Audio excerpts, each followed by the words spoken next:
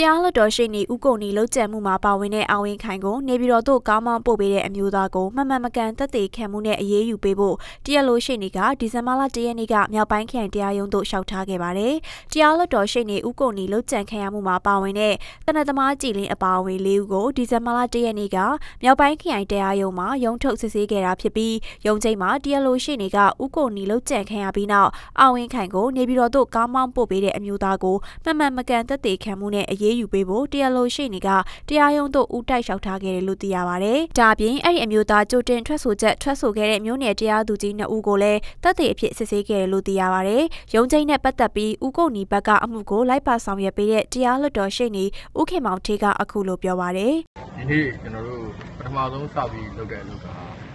ကျွန်တော်တို့တက်တေကိုရက်ထွက်နိုင်တဲ့ပတ်သက်ပြီးတော့သူမမှန်တက်တေခံတယ်ဆိုတဲ့အကြောင်းတစ်ပတ်ကလည်းရှေ့တစ်ပတ်ကလည်း မှန်တက်တေခံတယ်သူရုံးရှိမှကြတော့ထွက်တာမျိုး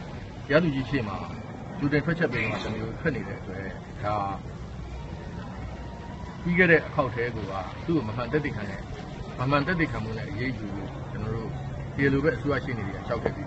ဒီနေ့ကျတော့ရှောက်လာတယ်တော့ဗျာရှောက်လာတဲ့အခါကျတော့ပြည်မှုဆိုင်ရာကျွန်တော်တို့ရာဇဝတ်ဆိုင်ရာကျင့်ထုံးမှုတွေပုံမှန်486ရာဒါ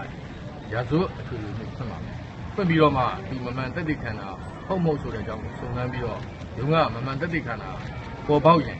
ဒါသူ့ကိုမမှန်တက်တည်ခံမှုနဲ့အရေးယူဖြစ်ပါတယ်တကယ်လို့မမှန်တက်တည်ခံတာမပေါ်ပေါက်ဘူးအကြောင်းတစ်ခုကြောင့်ပေါ့ဗျာဒါဟိုထွက်ချက်တွေလွဲနေတာဆိုလို့ရှိရင်လည်း